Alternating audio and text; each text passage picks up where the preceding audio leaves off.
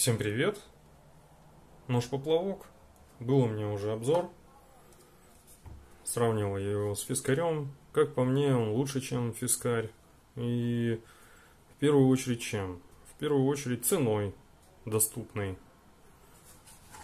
Потом ножными с вот такой вот клипсой.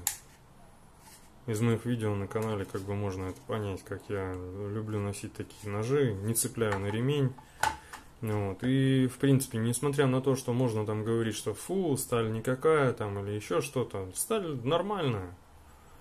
Когда вы стоите где-то на каком-то, я не знаю, пирсе, ловите с лодки, берег какой-то, э, как бы крутой и рядом там глубоко, уроните свой нож, не выловите его потом.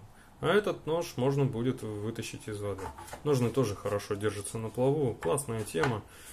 Э, в том обзоре я говорил о том, что бывают разные надписи на клинках. Ну и вот здесь мы видим Finland Float, финский поплавок.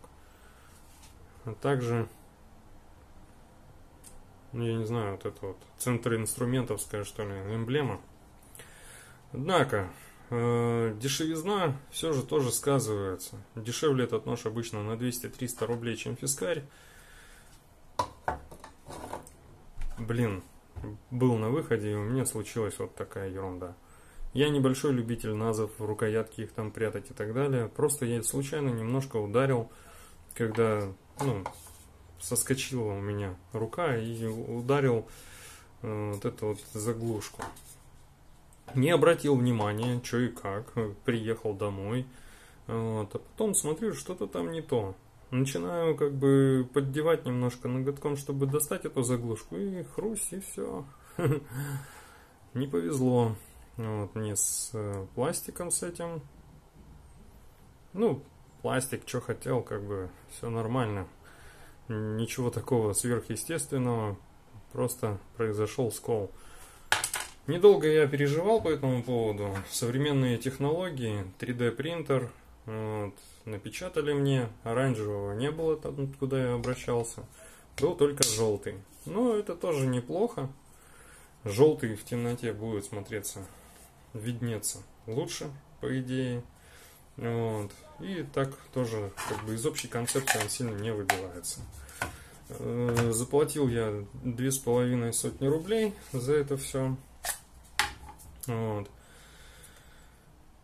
Нож на плаву хорошо держится, хотя у него там нету вот таких вот э, как бы выборок, все нормально. 500 рублей нож, 250 рублей заглушка. Ну, кто-то скажет, а ну нафиг ты парился, блин, купил бы новый нож, да и а этот куда-нибудь там, ну, на потом бы куда-нибудь задевал. В новых нож, ножах может быть точно такая же фигня, как бы, поэтому наличие вот этой заглушки универсальной, она будет просто кочевать от одного ножа к другому, если вдруг такие будут какие-то приключения происходить. И все. Видео снято в первую очередь не для того, какой я молодец, что напечатал эту ерунду на 3D принтере, а для тех, кто э, все-таки присмотрится к этому ножу, найдет его интересным, э, чтобы знали о том, что у китайцев могут быть вот эти вот сюрпризы.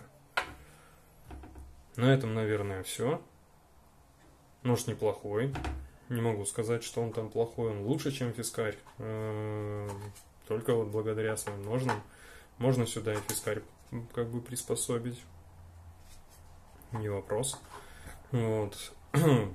так что думайте. Ну, а я продолжу как бы эксплуатацию, продолжу пользоваться. Все нормально. Меня все устраивает. Всем спасибо за внимание. Всем пока.